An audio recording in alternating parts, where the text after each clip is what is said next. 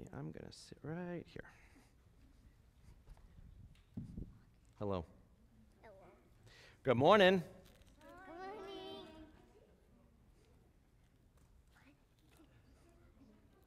What? What?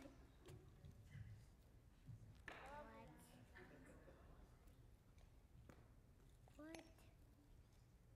What? What? Why are you throwing all the lollipops? Finally, somebody asks. it's just waiting. Because I want to. And I can. Can we go get them? Oh, you want to go get them? Yes. I do it. Okay, we'll go.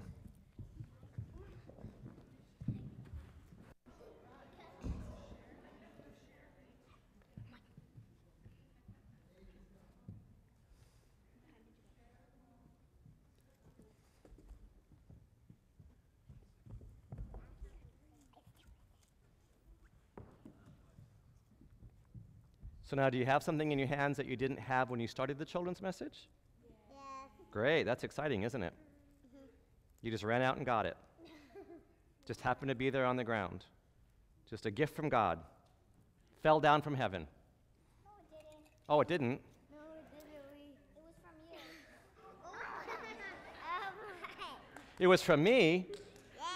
You just ran out and got something that I laid on the ground for you. Yeah. And?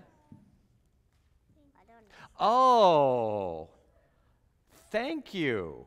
Well, now there's something that was kind of missed by a lot of people. Not that I threw it out there for you to say thank you, but when you get a gift, is it something that is owed to you or is it something you could say thank you for? You could say thank you for, or you could just be happy that you have it, run away and start licking your lollipop. That's okay, because I bet a lot of people out there do exactly the same thing. They grab and go.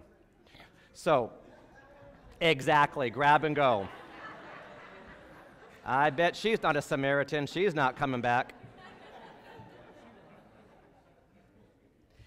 Isn't that just like kind of life? You have something right in front of you, you run after you, you get it, and you're happy, but you kind of forget. Do we use those words that say thank you? Do we use those words that say, hmm, I didn't start the children's sermon with something, but I'm going to end with something, and I'm grateful?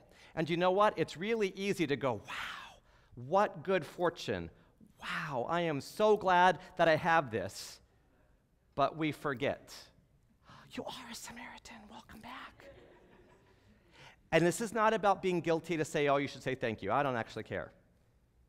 But it's how quickly we think we have something and we forget to stop and say, where did that good gift come from? Was it that I deserved to get it? Or was it a gift and I should be acknowledging that somebody gave that gift to me? Whether it's a Christmas gift or a birthday gift or a lollipop on the ground in church, do we stop and say, thanks? and that's what today's message is all about. That's what Jesus was trying to actually get into the heads of the people who were listening to him and these 10 guys who ran after something, grabbed it, and went, and only one came back. So as you listen to the message, think about you've got something that you've been given, and did you run after it, and did you stop and say, hmm, thanks, or did you just take it and go? Because we all do that. And we're going to stop today and we're going to take some time to thank God for all the stuff that He has given us. So let's uh, fold your hands and repeat after me Dear Jesus, we stop now and say thank you for everything you've done. Amen. Okay, you can go back to your seats.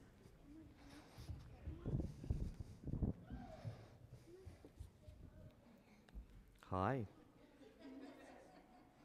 Do you want to stay up here with me? I get kind of bored sometimes. I'm all by myself up here. I think mommy wants you to go back. But I have candy.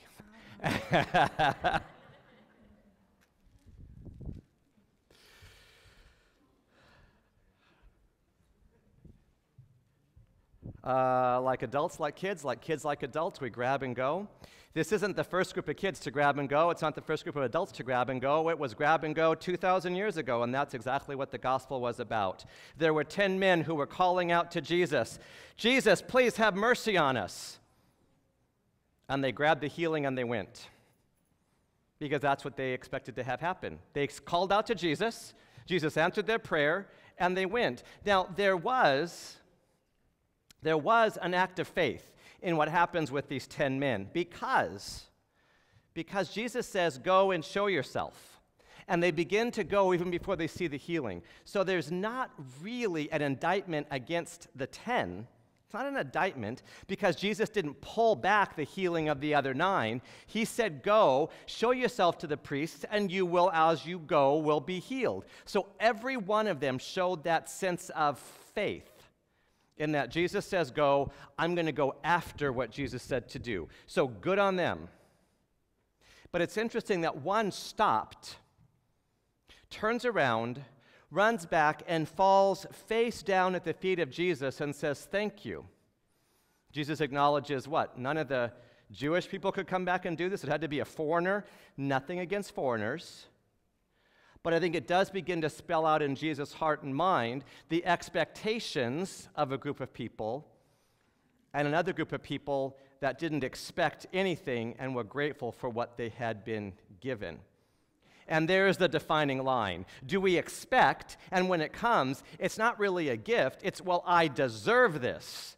I am a Jewish man and I have leprosy, and the Messiah should do something like show up and fix it because I'm a Jewish man with leprosy.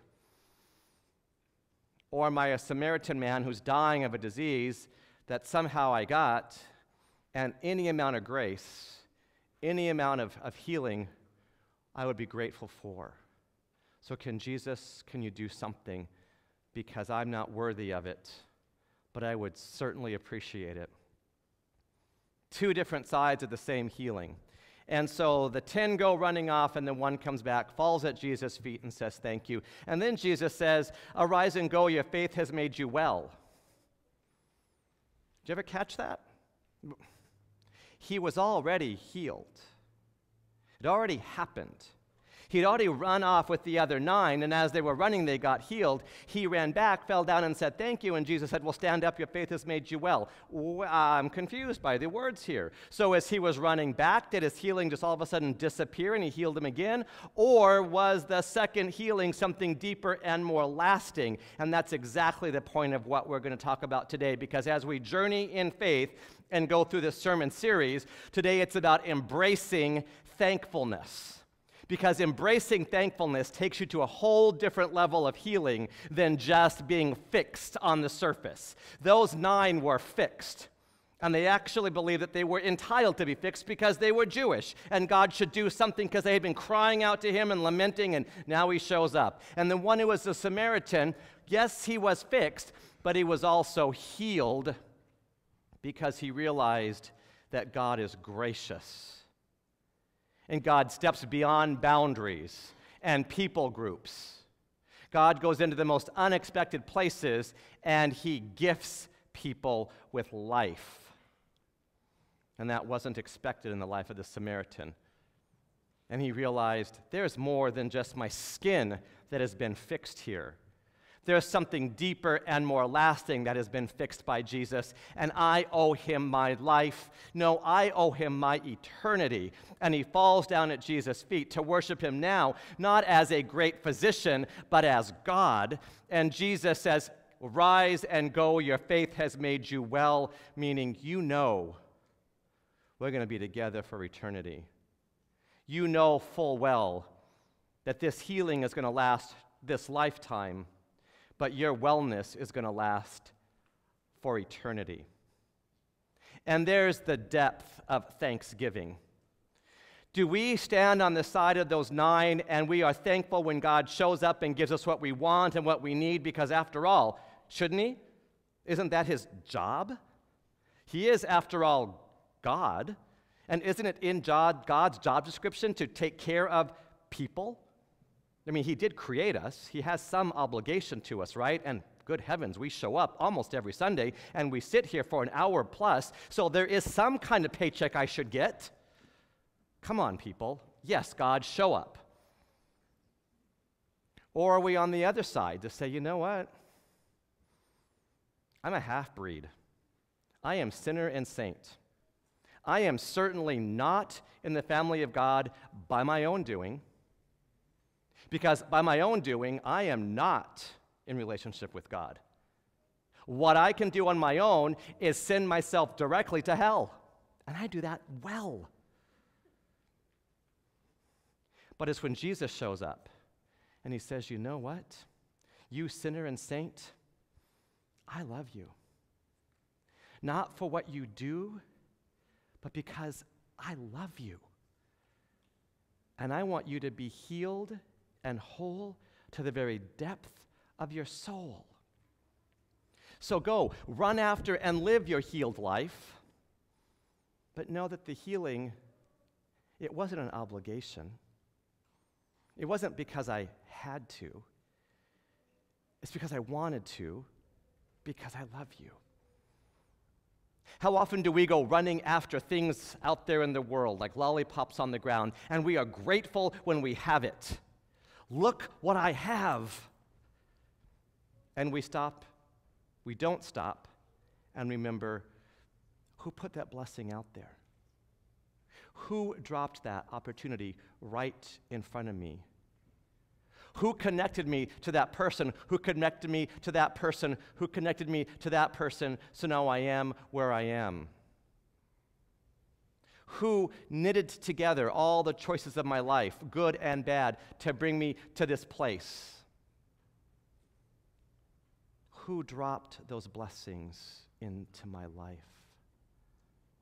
And if we are like those first nine, we take it for granted that that's what God should do. And if we take it like the last one, it stops us in our tracks.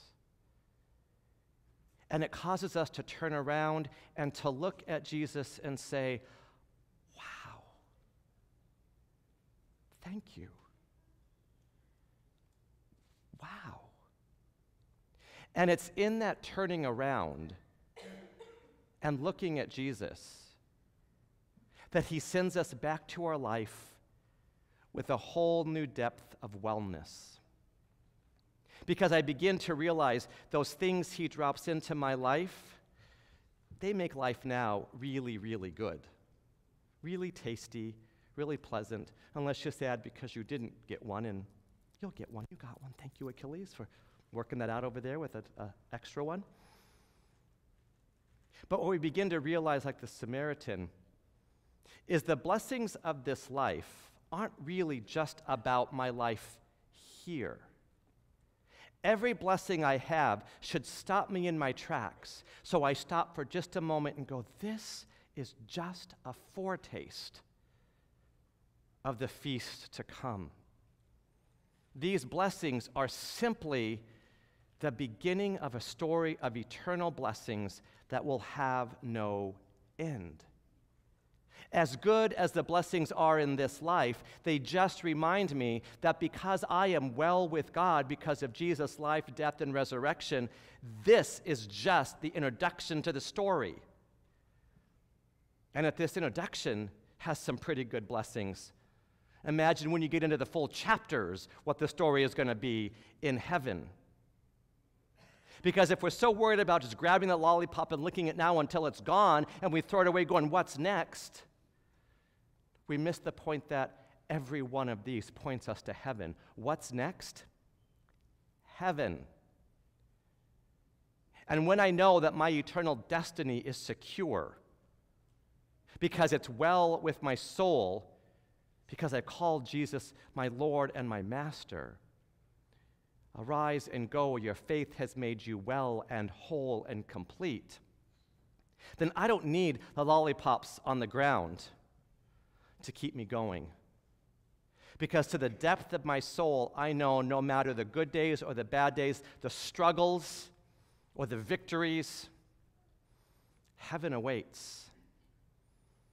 And that is a deeper sense of peace than just having a skin disease cured for this lifetime because my sinfulness has been cured for eternity. That's what the Samaritan gained that day. Not just a healing of leprosy, but a sense that there is a God who cares about me, a half breed foreigner rejected by the community, outcast, looked down upon, spit upon, rejected, and ridiculed, and yet God says, I love you. So if you ever feel outcast or ridiculed or spit upon or pushed aside or disenfranchised or forgotten, you have a God that says, I got you on my radar, and I'm not letting you go. It was that realization that brought true healing to the Samaritan. And it's that realization that brings true, true healing and peace and even contentment in this life. Because whether or not the leprosy stayed healed, whether or not the Samaritan was ever accepted in the community, whether or not the Samaritan ever found another lollipop on the ground, he found heaven.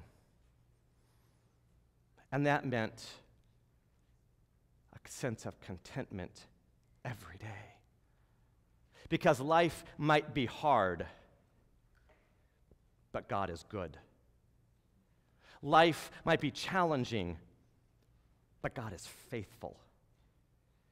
And he walked away from that encounter with Jesus going, There is nothing else out there that I have to face alone. There's nothing else out there that makes me shudder in my boots. Because this Jesus came into my village and into my life, and now I realize I don't walk this alone, but I walk it with the very God of the universe. That's how Jesus could say the second time around, Arise and go, your faith has made you well. Well, because there was a deep sense of contentment that now resided in the heart of the Samaritan.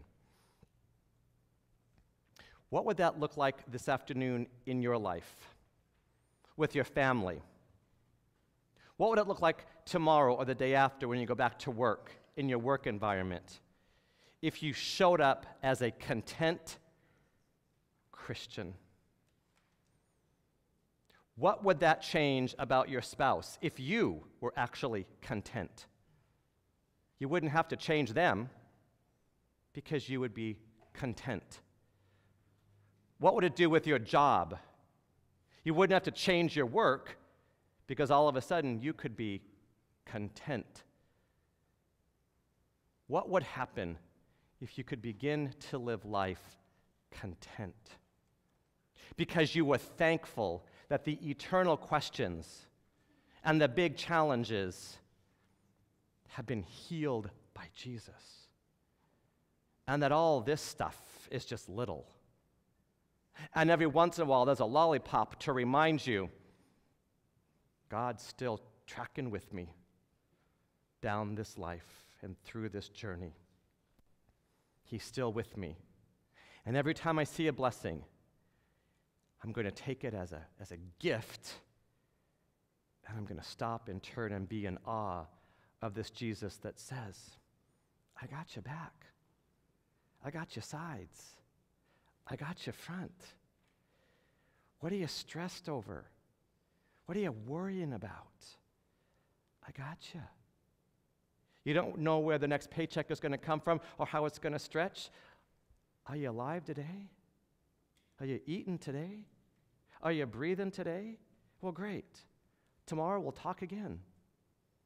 And then the day after that, let's talk again. And the day after that, let's talk again.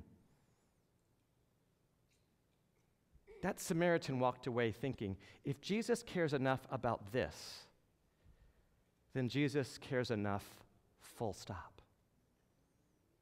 And that's for us as well. Is there a blessing that you can think of right now in your head? Because if you have one, then that means Jesus cares enough full stop. It's a lollipop on the ground to say, here's a gift, but let that gift remind you of the greater gift that heaven is open for you. So don't just grab the lollipop and start licking. Stop for a moment. Turn around. Face Jesus and say, Thank you. Thank you, because I am well because of you. Amen. May the peace of God, which passes all understanding, may that peace keep your hearts and your minds in Christ Jesus until life everlasting. Having heard the word